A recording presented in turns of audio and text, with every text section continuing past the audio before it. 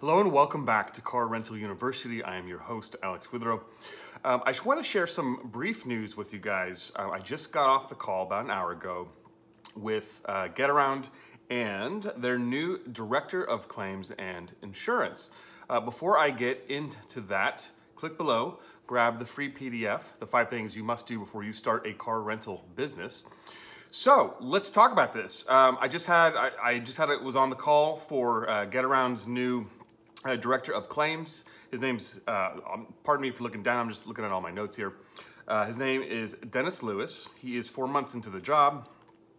Um, he has an interesting pedigree. He comes from uh, the claims division. I think he was a director of claims at Airbnb and he was previously before that at Progressive Insurance as a claims adjuster for 15 years. So I think uh, Dennis's pedigree in terms of being the new GetAround director of claims and insurance, I think he's a great fit for the job. And uh, just based on you know his uh, demeanor and his knowledge on the call, I think uh, he knows his stuff pretty well. So let's get into this. I'm going to share some notes with you. I took a lot of notes on this call. Um, so he, they made the point that the regulations on the rideshare industry are changing a lot.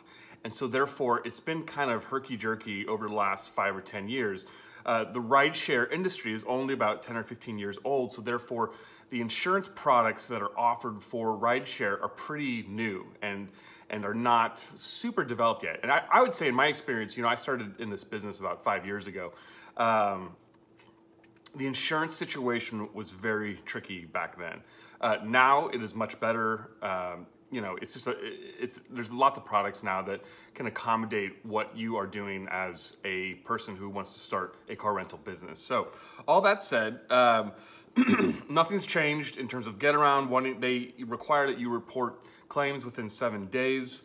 Um, one interesting point that they brought up that I thought was uh, impressive is that they said that the average, uh, the GetAround claims cycle in the last two years has gone from 70 days down to seven days uh, in terms of the average. Uh, that's pretty impressive. So the last time I filed a claim with GetAround was probably about a year ago, and the whole process uh, in terms of the accident and getting the car fixed, it took about a month to fix the whole situation. So um, sounds like things are getting even better now in terms of the, um, the, the, the, speed at which they are resolving claims. Now, they also said that they use Sedgwick as a third-party uh, insurance administrator for larger claims, multi-car incidents, and that they handle mostly the single car incidents. Now, um, I've had a fair amount of experience working with Sedgwick through HyreCar, uh, because Sedgwick works with HyreCar as well. Sedgwick, in my opinion, is very hit or miss. Um, they are a company, if you get the right insurance adjuster, no problems, you know, it's, it's all good. If you get a, an annoying uh, or difficult insurance adjuster, I've had them before at Sedgwick, that is also, it can be a total clown show. So uh, I'm not crazy about Sedgwick, but um, you know, I guess they are probably the leader and most well equipped in this industry to handle these types of claims. Um, they said if you are a host on GetAround, um, things that you can do to win a favorable judgment in a claim. Um, do a timely claim report, obviously, as soon as possible. Uh, inspect cars in between trips. You know, the challenge with GetAround in terms of inspecting cars in between trips is that their system is so fluid and so seamless that it's really easy to just snap off like five rentals in a row and have people come in, out, in, out, in, out because everyone just lets themselves in and out of the car. But if somebody leaves a mess in the car, uh, that's a problem. So, um, you know, if you're from GetAround, um, I would recommend, and I, I, this is my solution to this. On the GetAround app, when they close out their trip, the, the guest, they should take a picture of the condition of the interior of the car.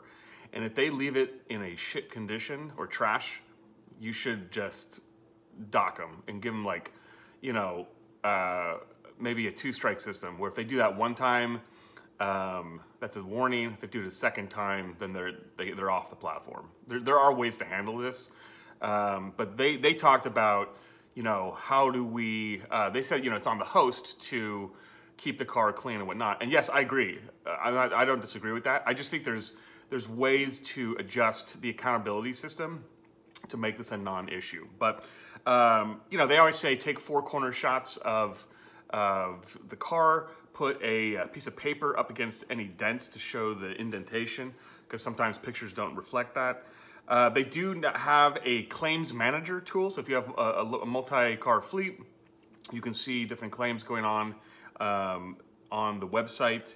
Uh, they talked about the claim admin fee of $100. And I know this is a big problem and a big complaint for anyone who's worked with GetAround because what happens is that, you know, if you file a claim and they give you a, a judgment where they're going to make you pay for the damage, they also charge you a 100 bucks on top of that, which is like adding insult to injury. And I, I think it's just infuriating. And that's been a big complaint. Now, in my opinion, I just think they've handled the communication around this poorly. In, on the call today, they said, look, we see this $100 claims fee as a deductible. Okay, I get that. Like, if it's gonna be a $100 deductible, then just call it a $100 deductible. Like, don't, because this, this surprise claims fee on people, it pisses people off and you alienate the hosts. Just call it a $100 deductible. Like, that's, I, that's how you solve that, in my opinion. Uh, but I think their fear is that when people compare their insurance plan to say Turo, Turo at the 60 uh, you know plan level has a zero dollar deductible. So technically, Get Around actually does have a hundred dollar deductible. So anyway, I, I think just the, the, way they handle the communication about that is is not the best. But we they also talked about gap insurance, which was interesting.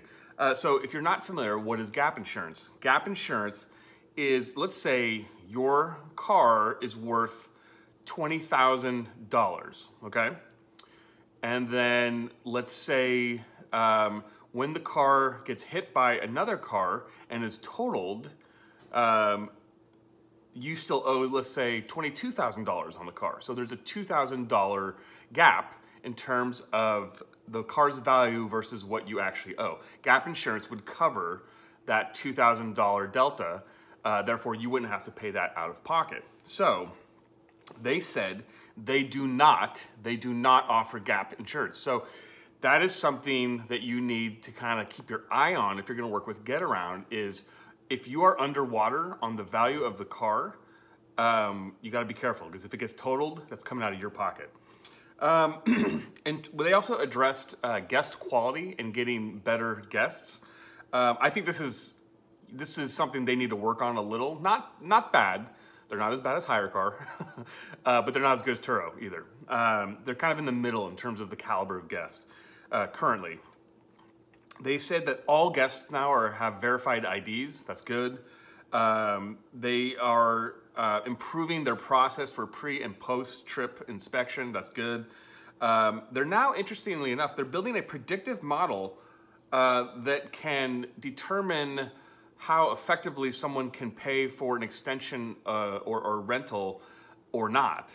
So uh, they call it the quote propensity to pay. And so they said that basically of all of their guests, of all the renters of the cars, they can basically score them in terms of who is the most likely uh, to pay uh, for the rental or who's not able to pay for an extension. So um, they said they're going to most likely take their most high risk uh, people off the platform. So that's, uh, I think that's a, uh, a positive development. I think they can, there's a lot of things that they should do to improve uh, the caliber of guests, and that's better for us as well as hosts.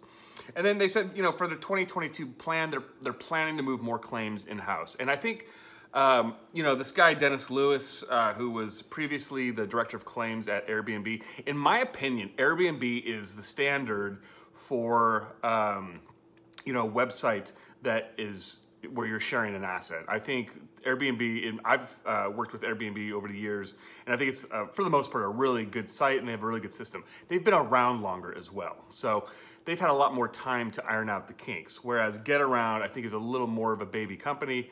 Uh, they've been around, I believe, about 10 years. So they are uh, still working out these things, but I, like I said, overall, I think that their claim cycle, adjusting that from 70 days average down to seven days in the last two years, that's pretty impressive. Uh, things are moving in the right direction to get around. Like I said, Uh, I think that Get GetAround, I've always said this, GetAround really has the potential to be a, a fantastic company that can really compete with um, Turo. What I wish they would do, I wish they would give more insurance coverage options the way Turo does. Uh, I think Turo's you know system of giving you five choices for five different insurance plans is awesome. I wish GetAround would bump that up to maybe at least three. Um, but you know the fact that Dennis Lewis comes from Airbnb uh, and also has 15 years in the insurance industry, I think he's the right guy and has the pedigree to turn this ship around for GetAround. So. All that and more, uh, keep click below, grab the PDF, the five things you must do before starting a car rental business. I will catch you in the next video. Thank you.